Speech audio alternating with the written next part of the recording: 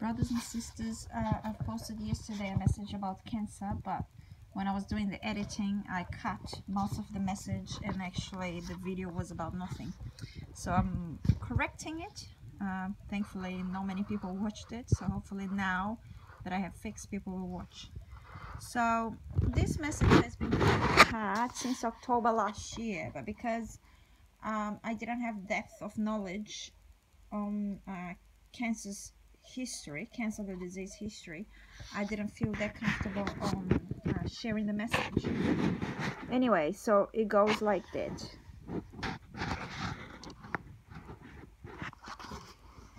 Sons and daughters, cancer is not a bad, a bad thing. If you have been diagnosed, know that your body was designed to warn you. And if you think back now, how many times and how many warnings has it given to you? Take this opportunity to seek my face and thank me for the healing and the warning cancer has given you. It is time to change your lifestyle. Your body is my temple. I am calling you to seek my face.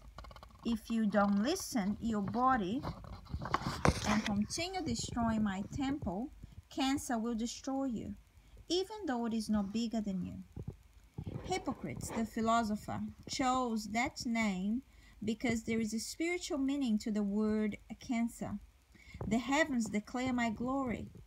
This man wanted to use the word karkinos, which has a deep spiritual meaning, to link to something that is considered negative, like a disease that takes over.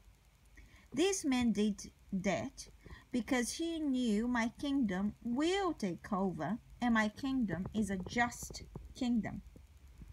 Hippocrates' motivations were dark, but I will shed the light now. Cancer tells you something's wrong and that things must change, perhaps the food you eat or the way you think. What does my spirit do, children?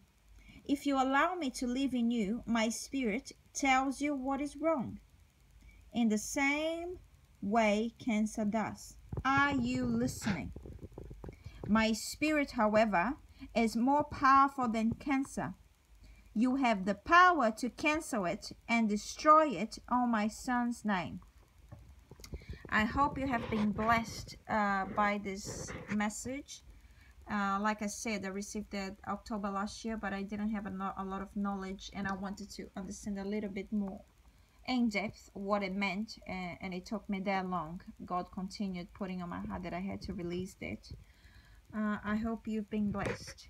You have the power in the name of Jesus to heal cancer, to destroy tumors, to reshape the cells of your body with everything that it needs for healing.